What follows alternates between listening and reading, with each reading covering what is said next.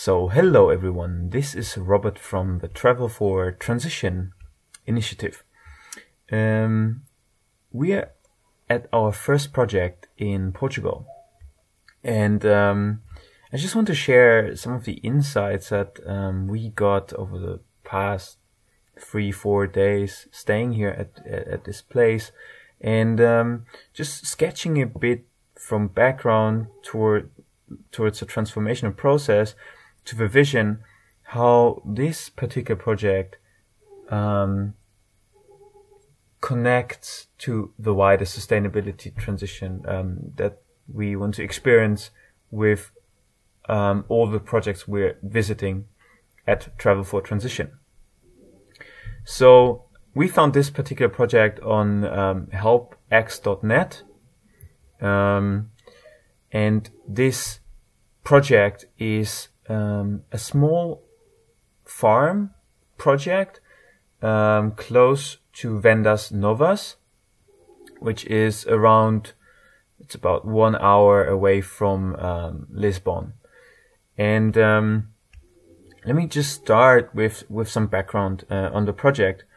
Um, so it's about 19 hectares of farming land um, that used to be um, occupied by 10 families in, in the past. Um, so they all had their own houses on, on this, um, on this area.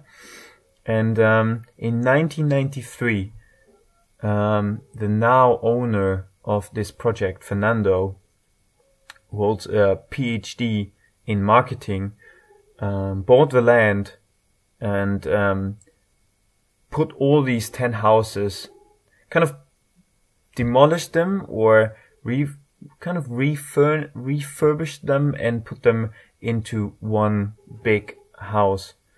And he describes this acquiring this acquisition of land and this working on what he calls this magic land um, as his own return to a childhood dream because when he was young his grandma um, used to have used to have such a place in the north of Portugal, um, such a farming space that he very very much enjoyed, and um, having now sort of finished his career um, in academia, um, he's now in his fifties. Um, he decided to take this step to return back to his childhood. So that much to to the background of um, our visited project. Um, let's move on to the second pillar of this description of this story, basically, of this narrative, which is the transformational process. So in any kind of, you know, transformation, here we just specifically look at sustainability. Um, we're interested in, you know, understanding the process from, um, departure point A to the vision point B. And let's start with some um, financial aspects that are just needed for, for a transformation to succeed. Um, Fernando acquired EU subsidies. Um, two of his um, children work as professional farmers, and therefore they could apply for um, EU subsidies for farming and agriculture. Um, and that's supplemented by, it's not enough, but it's supplemented by private savings um, that Fernando acquired um, throughout his career. And, um, and they, these financial assets are used together with um, a volunteering community to um, work on the land. So the volunteers they come from they come through different channels. Um, mainly three of them are um, HelpX, Workaway, and the Woofing platform. Um, the the the volunteer the volunteer stay on this farm on this you know place is completely self organized. So um, the the only requirement really for volunteers to stay here is that they have a five days working week with five to six hours of work every day, um, and two days off, and they are on Thursday and Fridays, because that's the days when Fernando leaves to Lisbon um, to do other work, and um, and we sort of have the same. We align with his schedule, so we we take off on Thursday and Friday, but work on on the weekend. Um, so the, the, the task of the volunteers are mainly the transformation of land. So, you know, working on this fertile arable land to cultivate, um, to cultivate seeds, plants, um, to just basically maintain the land. Um, the second, the second big task is the management of the, the place. So, you know, taking care of the house, um, cooking, um, more communal um, aspects of living here. So really taking care of the communal living. And the third main aspect is um, building and construction. So um, building own tools, technology, such as a greenhouse, for example, um, are also part um, of a volunteer's task. And the, the all tasks are self-organized. So um, basically, volunteers they they every morning they brief they're briefed by Fernando what could be done, and then it's up to the volunteers how to organize, how you know how big to form the groups to work on the specific task for the day. Mm. The so that was basically on the transformational process, um, which is heading towards a vision that Fernando describes as creating a self-sustaining healing place.